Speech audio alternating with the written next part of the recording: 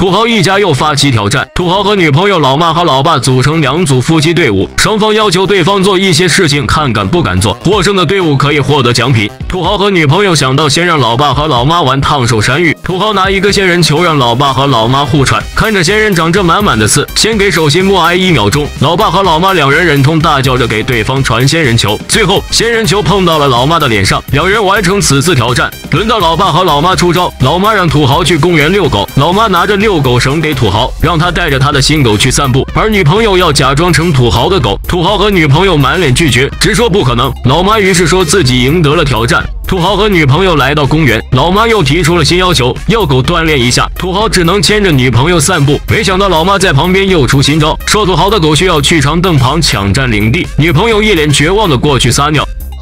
最后两人也完成此次挑战。接着土豪和女朋友又出新招，让老爸和老妈去健身房，穿上高跟鞋在跑步机上跑步。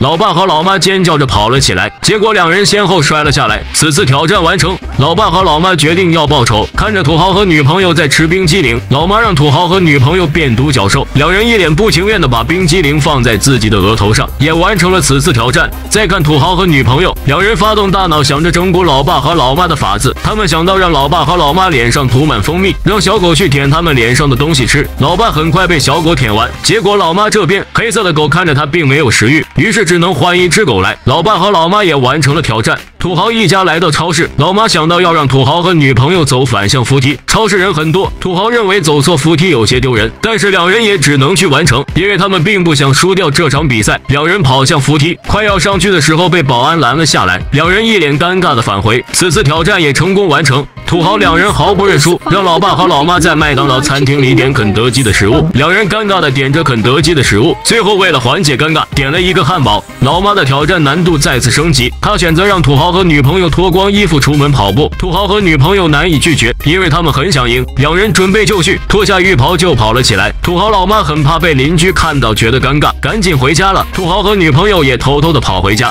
土豪和女朋友决定要复仇，他们想到要让老爸和老妈重新结婚，并且是。老爸当新娘，老妈当新郎，一切准备就绪。老爸和老妈换成礼服衣服走了出来，在这令人激动的时刻，在土豪的主持下完成了婚礼。土豪一家去吃饭，老妈想起他们的挑战还没结束，于是让土豪和女朋友挑战用手指抓着吃饭。两人尴尬的像个三岁的孩子一样吃起了饭。土豪和女朋友也立马想到一个主意，让他们不用任何餐具吃饭，包括手指。老爸和老妈端起盘子开干。回到家里，土豪和女朋友正要洗澡，老妈突然决定要他们洗黄豆澡，在浴缸里倒了两大桶黄豆，两人满脸绝望的坐进去洗豆子澡。但是听到老爸和老妈要把门锁了之后，土豪和女朋友赶紧认输。最终，老爸和老妈获得胜利，得知奖品是在游戏中购买三百颗宝石以及一些免费皮肤，老妈瞬间懵了。后边土豪还会发起什么刺激的挑战呢？关注我，下期更精彩。